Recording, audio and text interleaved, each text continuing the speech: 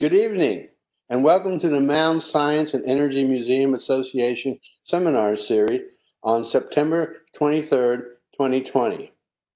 This evening, we are uh, hosting a, a prior presentation by Dr. Don Sullenger on the beginning of the Mound uh, Museum uh, Association.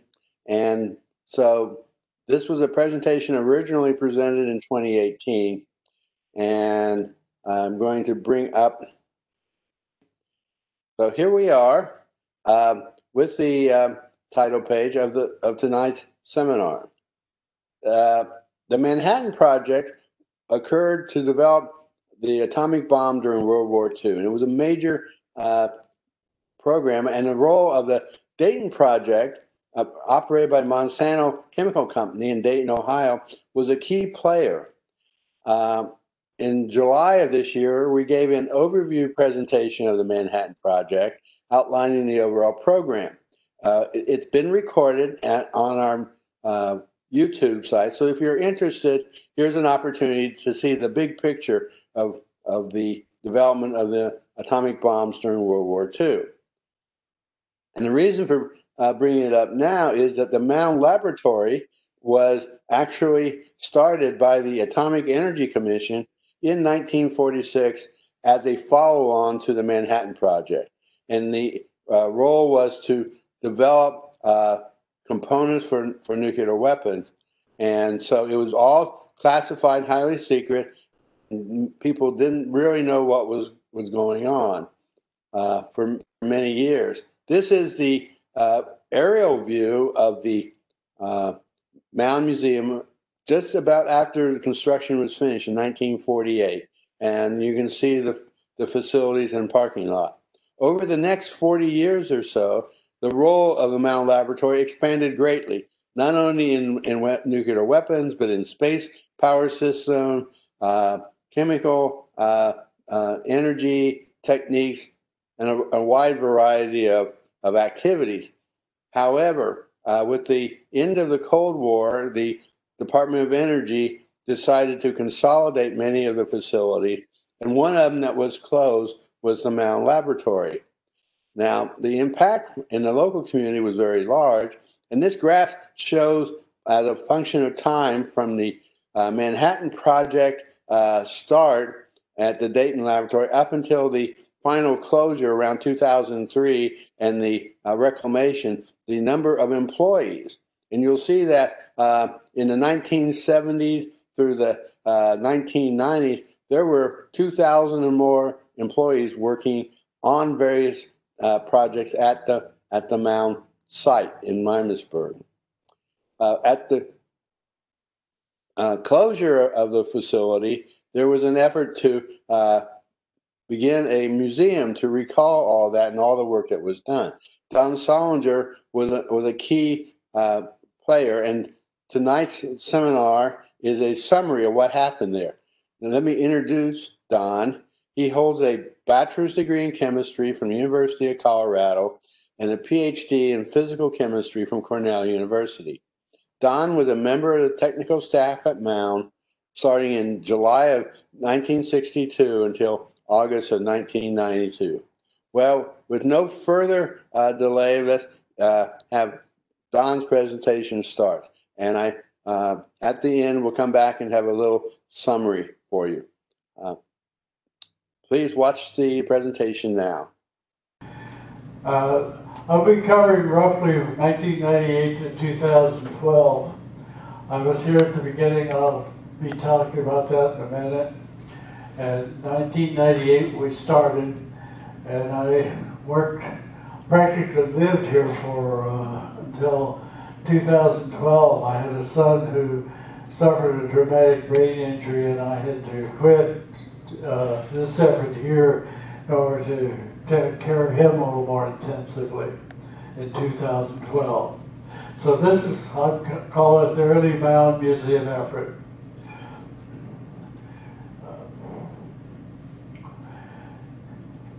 It started in August 1998. Mr. Flitcraft came to one of our uh, luncheon meetings at noon over at uh, Ryan Caf- Cafeteria and Catering at uh, on Stroop Road.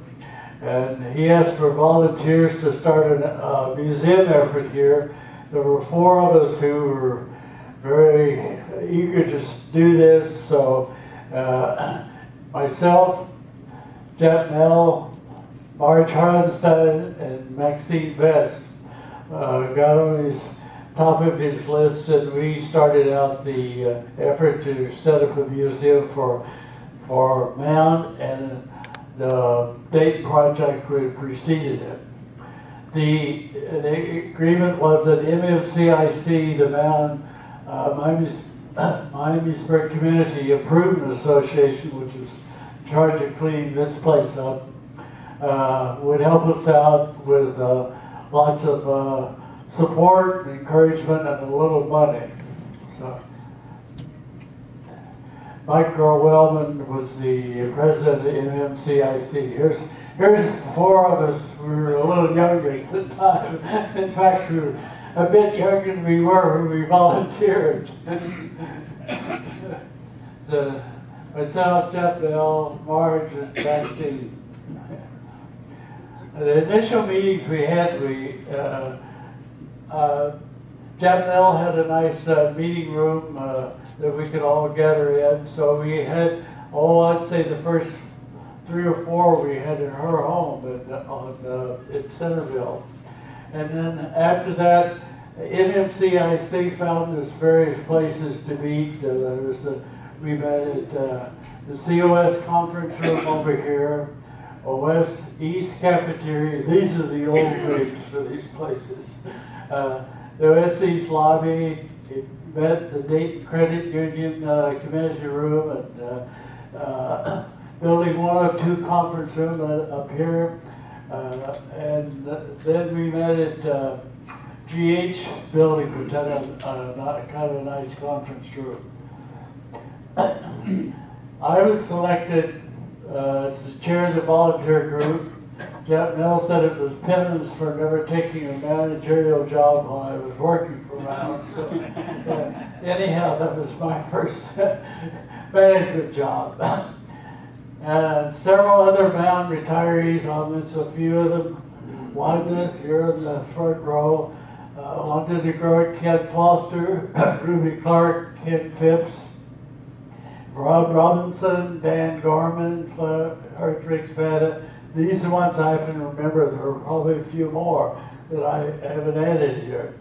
And, and one of the first things we did is MMCIC donated us some funds uh, to buy a, a few cheap uh, voice recorders. And we were going to record people's thoughts. That went a little ways, but it didn't. It, it never seemed to persist very much. We didn't record too many, but we could see uh, very soon that we needed more volunteers. So we're trying to get people. We call for volunteers for cataloging, repairing, and organizing the acquisitions we had. We were uh, to, to contact, interview these people who were going to record and design set of exhibits, give presentations, and do publicity. We did get quite a few volunteers, and uh, so we created what we call the Mound Museum Association, MMA, in early 2000. And uh, we opened the membership to the general public, even though it's always been uh, overwhelmingly Mound and uh, former Mound employees and uh, or uh, the Dayton Project employees. It was open to the general public, and we charged a great sum of ten ten dollars a year. Ken Foster volunteered to be our membership chairman, so we were off and running. And in August two, by August 2002, we grown to a membership of 79 we started getting acquisitions, and so we worked out a routine procedure with Sue Smiley, who was with the DOE. See, I hit that. Uh, she was working with the DOE. Donna Gallagher was the, the cleanup contractor, which at that time was BWXTO. And uh, they worked on a routine, so we would transfer things from the DOE uh, by way of MMC as an intermediary. Actually, they'd request them for us and they'd give them to us or for charge us a dollar or something like that. Uh, sometimes, better than what it was, sometimes it was uh, incumbent upon them to charge us a little, was some great sum like a dollar to. And this might be anything, some something that uh, might be a set of books, might be some uh, uh, gadget that we retrieved from the junk pile or what, but we it was useful to us. And then that we acknowledge these uh, from individuals with a descriptive note of thanks.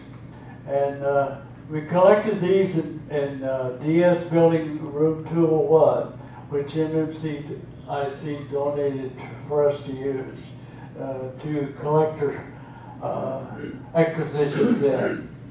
Well, the first things we got was uh, we got two uh, units, uh, RTG units that we had given some years before to the Armstrong Space Museum when it was uh, first set up. They weren't using at the time. Mr. John Zwez, who was the president of that, uh, saw somewhere and noticed that we were starting a museum, so he called uh, someone, one of us, and, said he had these things and we could come and get them.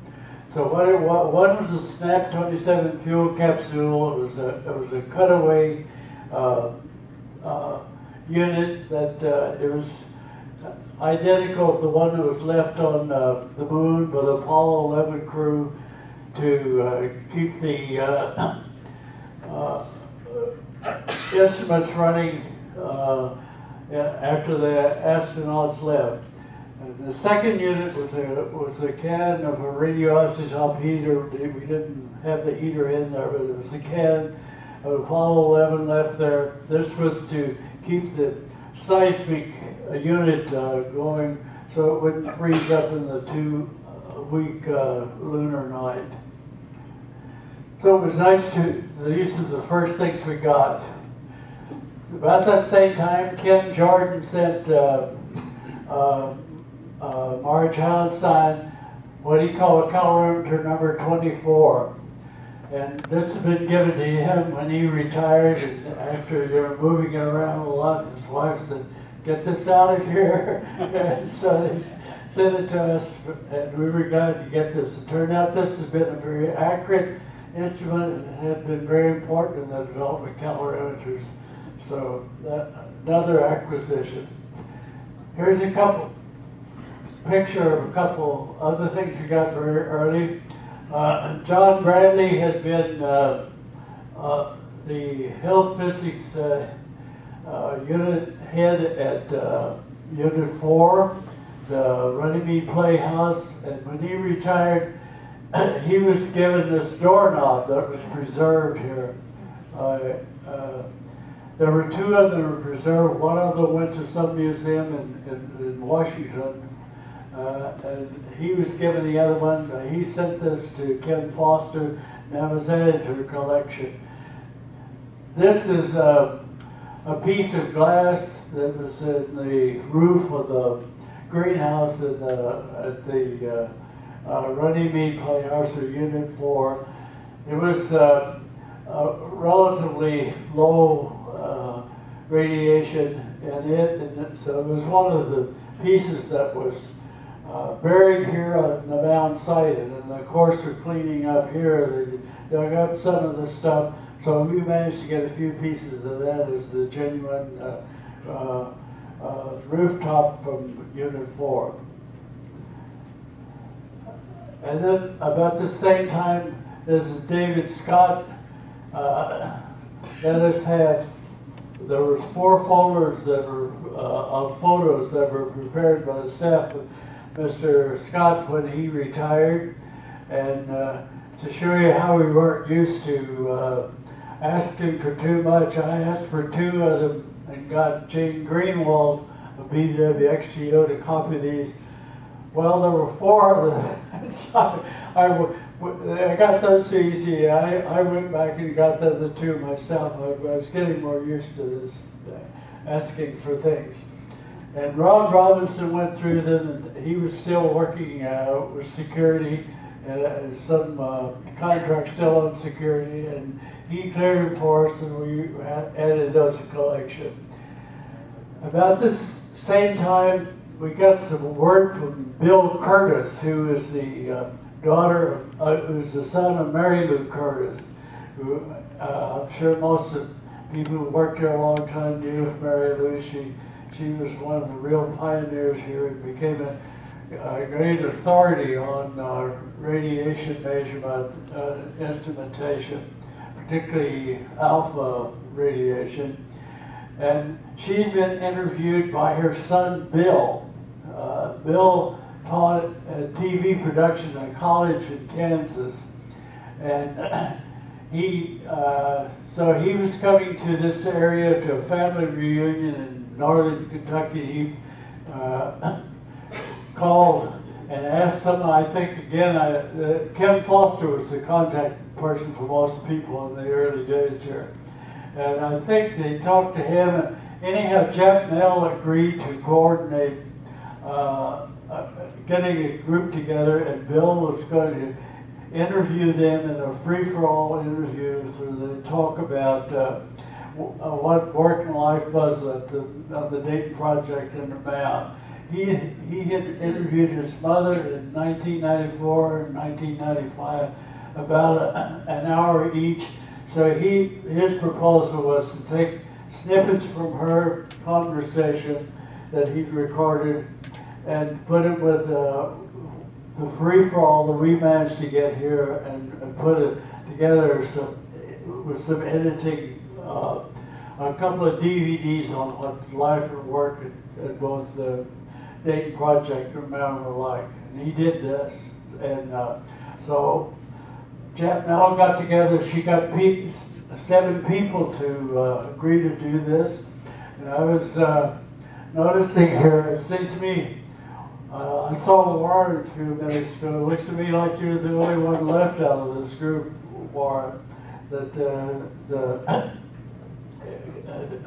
Claude Hudgens, Dr. Reagan, Gus Essig, Ray Hertz, George Mahfouz, Kevin Foster, and Warren Sheehan.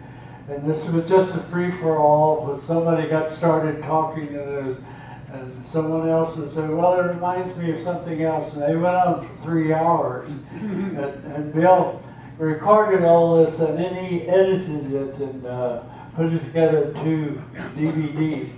He gave us some copies of those and he, and actually I've seen some, part of it has been recorded on YouTube even. And, and uh, uh, also, he gave some copies later to Cynthia Kelly of the uh, uh, Atomic uh, organiza- uh, organization that she set up in Washington.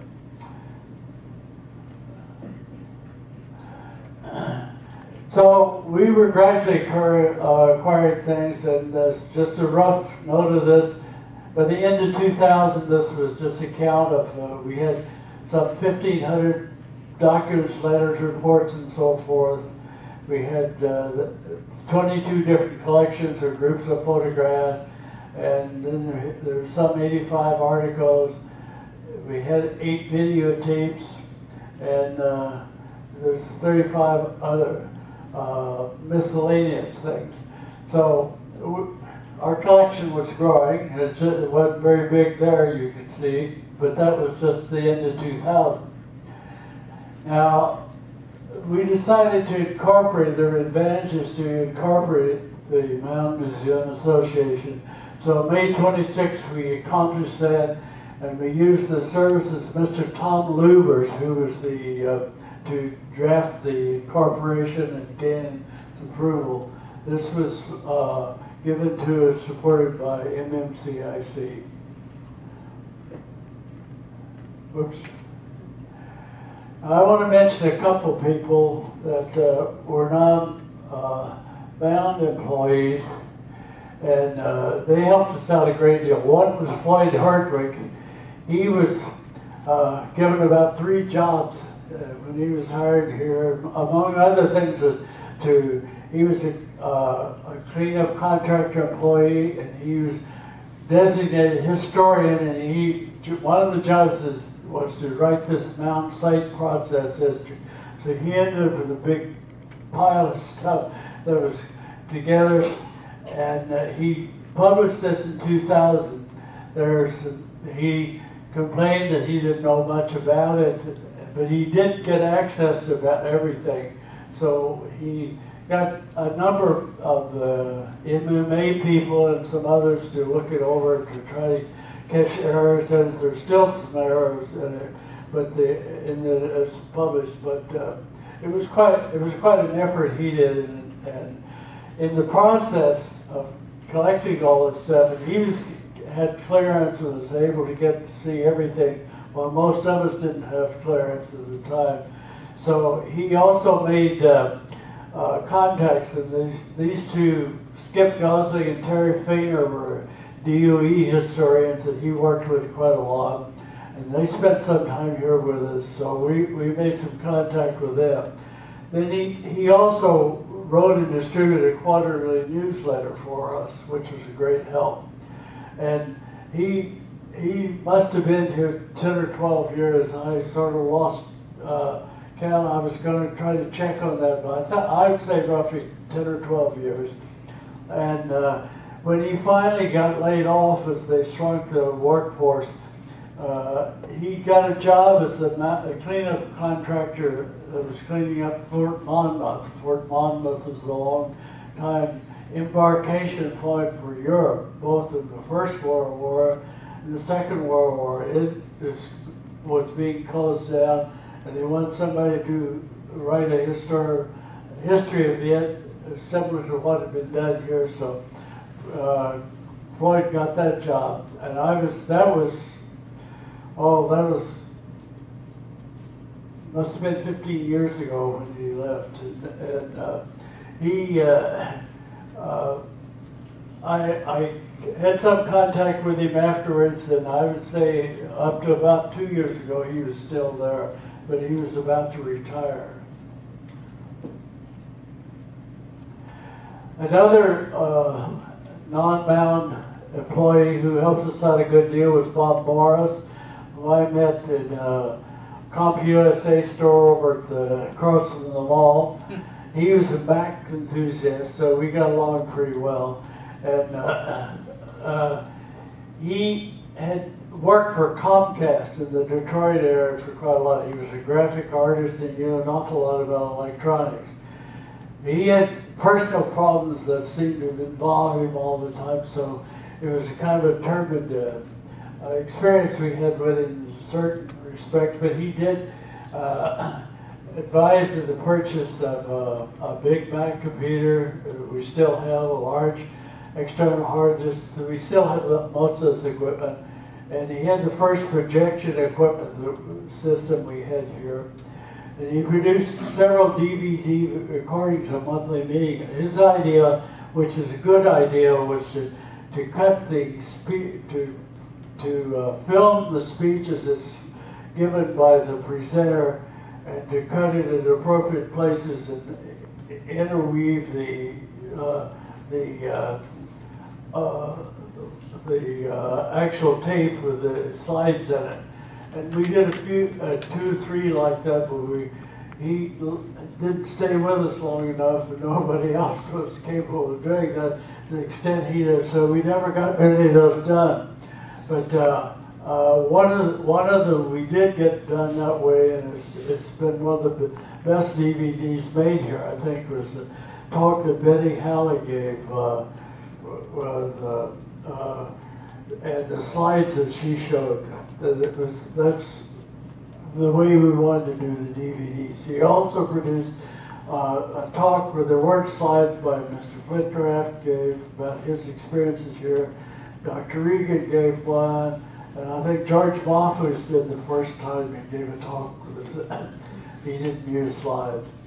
anyhow, he just recorded those. I think there are copies of those still floating around somewhere. He also produced an appropriate logo for the MMA to use, and he set up a website that we had initially. Uh, and uh, like I said, he quit working because of intervening personal problems. Here's, this is the right side is the logo he made, and we use this quite a lot for this uh, stationery and for other things.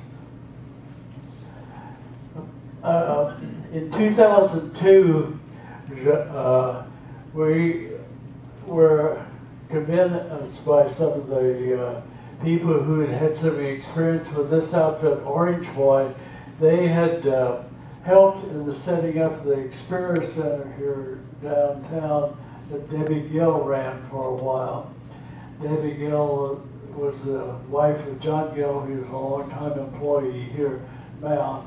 But she, she ran the experience center, she had had experience with this Orange Boy, was to help set up and to establish long-term strategic plans and so forth for particular nonprofit organizations. So during 19, 2002, and we got the, I put down the uh, date there, 12, 17, 2002. We, we got the, they worked most of that year, and, and on 12, 17, 2002, they gave us the final report of their strategic plan. This was their logo. And uh, their proposal was that Mountain try to become a, uh, a regional museum devoted to the nuclear age, which they call from 1895 the discovery of radioactivity to 2000, the date then, uh, 2003, and they illustrate this with Mound's work legacy. And uh, then they wanted the MA to position itself as a learning institution that sought to maintain the nuclear relevance in contemporary time. So these are all uh, encouraging things to do. MMA would have the mission of curatorial oversight of the mountain collection, try to inform the public about these collections, support the mountain legacy, uh, mountain plant legacy management here as uh, action. They even uh, helped us write a vision for the MMAs, uh, to interpret the nuclear age through the lives of working communities of mountain employees. Some of this stuff has stayed on, but these are the long uh, term, these are proposals they made. One is they were very much enamored with T building, and they wanted the museum, they urged the museum to actually move to T building to, to sort of fix it up and have our uh, actual uh, uh, museum centered there and to, to make that the core of everything we should, they said we should quickly assemble a startup fund for at least hundred thousand dollars the next year. These are the things that we didn't accomplish. And they wanted us to retain a project manager, a manager to guide the development of the project and commission uh, curatorial work, not try to do it ourselves. Uh, and they wanted us, urged us to develop a capacity for a 15 million capital campaign. Well, you can see what the difficulties were. It's, it's accomplishing. These are pretty big, uh, uh, bites to chew off. So we never uh, managed to do a good bit of this. So this, their proposals sort of lay in the background there, but we never accomplished anything like this in the magnitude of it. Also at the same time, and sort of along with it, and somewhat in the background, sometimes in the foreground, there was a, an effort that started some years before even, to set up a National Historic Park for, to commemorate the Manhattan Project. And the, the aviation park people here, the national park people, uh, were very interested in this, and so they swung behind this Manhattan Project Historical Park Study and, and got Mound uh, included along with uh, uh, Oak Ridge, Hanford, and Los Alamos as the fourth uh, entity in, in a proposed national park. And uh, the people, Larry Blake was the head of the, the Dayton Aviation Heritage National Historical Park. He was the head of it. Tim Gooders, his assistant, Ed Roach was a historian, and Ann Honious was a, uh, education expert. So we visited, they made arrangements, and we visited uh, uh, the personnel who were then in control of the four Dayton sites. And uh, all the stakeholders around, we, we interviewed, I spent a lot of time with them going around talking to various people who either owned this property at the time, like the Unit 3 was owned by the Dayton School Board, and it was sitting, uh, they did tear down the main building, but the, all the outlying uh, uh, additions to it that were, uh, uh, you know, trailers or trailer additions that, uh, and, and others temporary buildings were still there, and they still are right now. The, Unit One had gone, at that time was, uh, as a subsidiary of uh, DuPont that had uh, owned Unit One at the time. The warehouse at, at East First Street uh, had got, was a private uh, local contractor. He was interested in developing something. But anyhow, we talked to all these people found the status of that and tried to get them behind, to get behind the, the national park effort. We also wrote, uh, I wrote to the local congressional delegation, uh, Congressman Turner, uh, uh, Hobson, Boehner had just become, uh, uh, I, I think, I think he was speaker by that time. And, and uh, the senators were uh, Voinovich and DeWine. And uh, we were trying to get them to support this national park effort with Dayton included as uh, one of the units of it. Well, uh, the only one who really gave us any significant support was DeWine, who was uh, a senator at the time, and he uh, had a, a colloquia that is a, a sort of a they talked it back and forth in, on the congressional uh, uh, floor, and he tried to get Senator Bingaman, who was one of the uh, sponsors of the bill, told him about it, and anyhow, that's where it lay. But this kicked around for about another 10 years, and actually, the national park was established only in 2015. By this time, because we could not essentially could not get any uh, sufficient support among the movers and shakers, including our congressman. We didn't never heard back from Turner, even though I wrote him three times, and uh, some other people did. So we could we couldn't get congressional support locally. Uh, uh, the movers and shakers, like the Dayton Foundation and so forth, didn't really get behind it enough. So uh, they fell off the end of the list. We were not included in the, the, the three units of the national park that was finally established in 2015 had Los Alamos, uh, Hanford, and Oak Ridge, the three big ones. Uh, so we took several trips at that time, MMA did, and uh, I listed some of them here. We went to, uh, George Bonfus and I went to uh, a meeting in 2004 and I called the Manhattan Project in Elmira, New York. Ken Phipps went to uh, represent Dayton at the DOE Museum Visitor Conference in Las Vegas. Jeff and George uh, uh, Monfus went to this second Manhattan Project family reunion in Oak Ridge. And he was, George gave a talk there then. Uh, And Phipps represented Mound again in 2008 at the uh, Atomic Heritage Foundation events, Oak Ridge.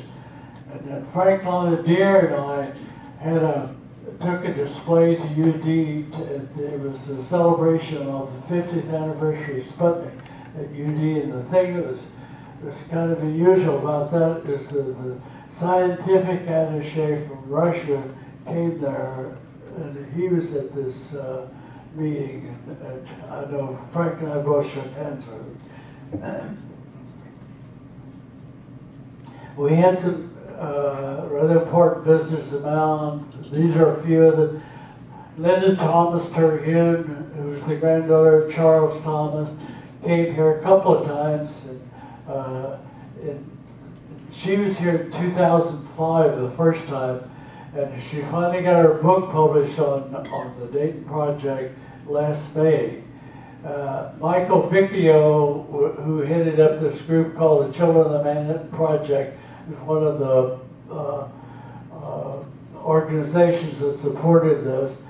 And there was a guy named John Coster-Mullen who wrote a very detailed uh, description of uh, uh, both the atom bombs, that is the unclassified thing. He contacted all these, every time he heard about some uh, mention uh, of one or the other of the atomic, the actual atomic bombs that were dropped on Japan. He contacted the people and got what he could, and he put these into a book. It's kind of interesting. We have a copy of this book. I have a copy of this book. I think, I think the the organization did have one, and uh, they both spoke at it. It was uh, 60th anniversary of the Hiroshima bomb raid at uh, uh, uh, Wright Patt, and they came here the next day. So we showed them around this. They had, they had never heard of the Dayton Project, and uh, were very interested and promised to give us some uh, publicity, but. Uh, it, uh, unfortunately, Michael Vicchio got leukemia, oh, I'd say six months or so afterwards. And he died very quickly after it was discovered. And most of his stuff he got was, uh, was uh, folded over into this. Cindy Kelly had a, this uh, Atomic Heritage Foundation in Washington, D.C., which has been the most successful uh, organization. She's still going in a big way. She's gotten a good deal of money and is the one who's probably most responsible for getting the national park set up. She's a, she's a tough fighter. uh, uh, anyhow, she ended up with most of the stuff that Vicky had, had collected. And uh, Mayor Church came here a couple of times and interviewed uh, several of us. So we had some contact with the outer world. Uh, now, uh, as a sort of review, here's the first three elections we had. We were supposed to have these every two years, and you notice we made it about every three years. Was, I was the first president, Jeff Bell was the vice president, Foster the treasurer, Wanda secretary, and then there were nine trustees.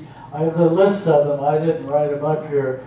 Uh, Frank Lonadier became president in 2005, Jeff Bell was vice president, Foster treasurer, Wanda was secretary again, and the trustees. Then in July uh, 2008, Mr. Flintcraft became president. Uh, uh, Paul Lamberger was vice president. Ken Phipps, uh, treasurer, and Wanda DeGroat secretary. Again, there was some overlap with these trustees. There were a few people like, uh, who I think like Ken Foster who survived all of them. Anyhow, that was our first three elections, and we had, uh, I know there've been at least one more election since then. Mr. Flitker changed things around quite a bit, and I had to quit about in uh, early 2012, so I won't say much more about it. We moved, the MMA moved to GH Building in early 2003, and uh, we set up these uh, public times and also work times on Tuesdays and Saturdays. And uh, uh, we had no paid employees, we still, um, historical technical, uh, public meetings like this one here. We set this up, that's perhaps been the most successful thing, I think, that the, the museum has done, that these are persistent. And at the time I left, I counted up, there were fifty-five, uh, uh, that had occurred up to the time I quit in 2012. And uh, you kept them up since. Uh, one, one of the, couple of other collections I'll just mention briefly is we got a, some very interesting things from uh, John Burton when he retired. One is uh, an actual bismuth, I'll show you this. This is a bismuth slug that was actually used like this is like this is a bismuth that's in an aluminum can and these are the end caps. This was what was actually it's about four inches long. They were actually what was inserted uh, in the pile at first at Oak Ridge and then at Hanford when the Hanford pile was uh, operational. And uh, this is a bismuth and, and uh, uh, neutrons penetrated, the pile penetrated through the aluminum can and, and formed uh, uh, polonium through a, a process of, of uh, radiation degradation. And this, the, so this had to be extracted from this. That was the job of the main, of the main job of extraction to obtain polonium for uh, use in the uh, urchins. Uh, here's this was uh, once it was obtained, the it was electroplated inside these tubes. This tube were either sometimes they used tantalum, sometimes used polonium. This was uh, usually quartz or sometimes uh, glass ampule with argon uh, atmosphere inside here. This was the shipping container It was actually used to ship the polonium to uh, Los Alamos to actually make the urchin during the war. Later, this was transferred back to uh, uh, the Dayton Project in the later years. It was actually, those urchins were actually made in, in the Dayton Project. Uh, Howard DeFore, who seemed to have been everywhere, uh, both NCR uh, and Mound, and uh, the, he helped establish the uh, uh, instrument lab at Wright State and, and, and, a couple other places. He gave us a lot of quartz microbalance material. He gave us a, a, a full unit and a lot of a lot of these component parts here, and uh, so we have quite a collection that he that he gave us. Uh, the oh, we also about this time got the the remnant of the Mound Library. It it did two reductions before he got it, but it was about 20 boxes of material and that was the core of the library that was here when I left. I'm not sure what's happened to that yet now. Uh, also, the MLM, MLMs, we got uh, MMA about the same time, acquired uh, the, uh, is, uh, in 2003, we acquired the, the photographic negatives that the photographic group Mound had. This is a nice collection. And uh, uh, see, and the MLMs. And uh, so these the, the were major acquisitions. So see how our collection has grown. This is 2010. We had uh, 77,000 bound photographic or film negatives and uh, several photographic collections. The, this was the MLM collection, 8700, the 1300 reference. So this was kind of a stack of stuff that we're getting. And we outgrew uh, uh, DS, room that we'd had it in. And uh, oh, uh, one thing I want to mention was, was a project that uh, uh, uh, Ken Phipps conceived of and actually uh, ran. I don't know how many, how many, how many uh, uh, sets of cards did you sell, Ken? I, I do not. uh, It was a nice, nice project. It didn't, it wasn't, didn't make us rich really, but it, but it, but we, it was a contribution. It was a nice thing. Ken uh, put 55 unique photos that he, uh, he found, picked out of the collection, got a fitting uh, caption to them, and we used his logo on the back of the, the card. And he got sponsors to uh, pay for each card, they were paid, and then he was able to sell ten dollars, and that what they? Yeah. It was a nice, it was a nice project. We, we just needed five or six more projects somewhere. Uh, about the time, not too long before, I had to quit, Dick Manning joined in, in a big way, and he, OCR copied all the MLMs and other Mound publications. He organized these, made these retrievable from an archive. It was a great job. We used a, a rather sophisticated Hewlett Packard uh, scanner to do this, and he, he did it. And uh, then he supervised the digital copying and identification of the archival storage of the Mound negatives. And Wanda, I think, you, you did a million and one negatives.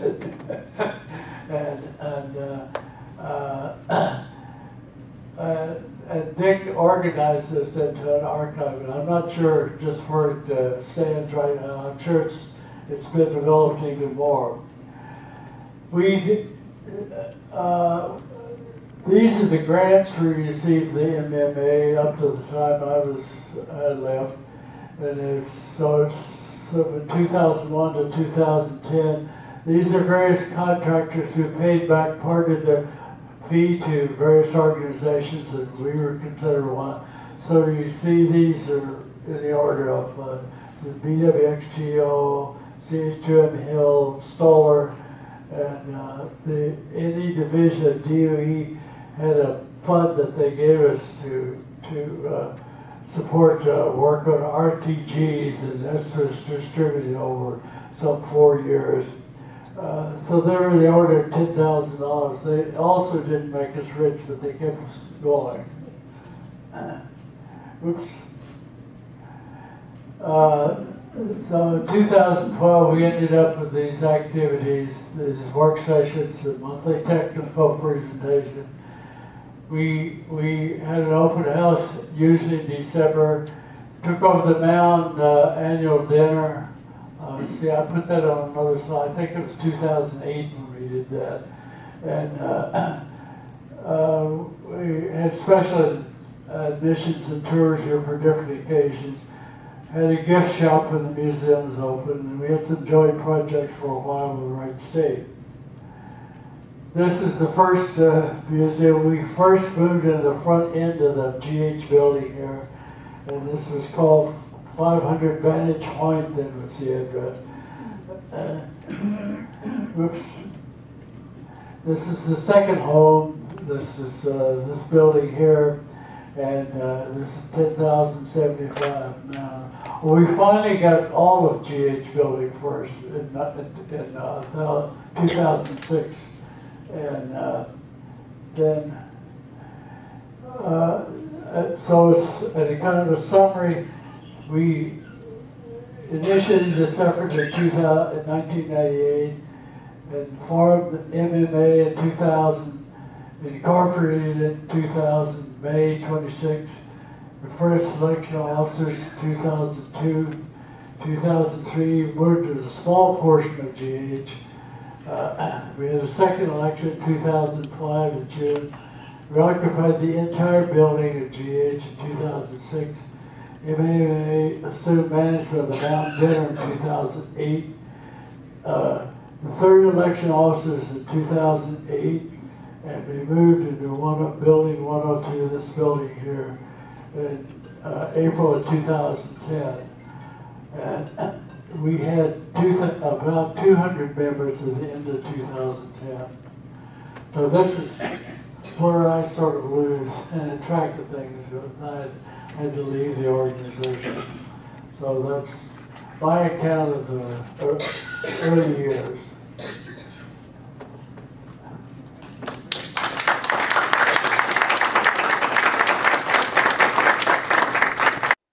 And thank you, Don, for your your uh, allowing us to show again your your presentation on the formation of the of the Mound uh, Science Museum Association uh, as a remembrance of the roles, people, and mission of the Mound Laboratory throughout from the time of World War II up until uh, uh, into the 20th cent- 21st century.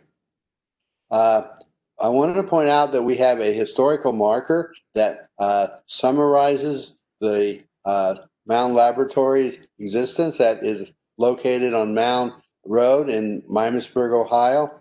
So it's right at the entrance to the main site. So, uh, but we also point out that there's a museum now, the Cold Mound Cold War Discovery Center, that was renovated and now operated by Dayton History, and it's available. Uh, uh, for free to visit. It includes many artifacts from the um, mound uh, history, several of which Don had talked about in his presentation, as well as uh, overview of missions and things related to uh, nuclear technology for space and other applications. So it's very w- worthwhile. It is free. It's open Wednesday through Saturday, and um, please check out their website or come visit and, and learn more about the uh, important uh, atomic facility that was located in Miamisburg, Ohio. Now, the Mound uh, Science and Energy next webinar presentation will be on October 28th. This is titled A Conversation with Betty Howie Jones. Miss Jones uh, worked at, a, at the Dayton Project in World War II and then continued at Mound Laboratory for over 30 years. This uh, interview was recorded uh, in cooperation with the Oakwood Historical Society back in June of 2019. And it's a unique opportunity to learn from firsthand experience of, of a person involved um, in the Dayton Project and with Mound. And with that, we'd like to close for tonight. We hope you uh, enjoyed our presentation and look forward to continuing to share the history of Mound Laboratory and the uh, missions related to it with you.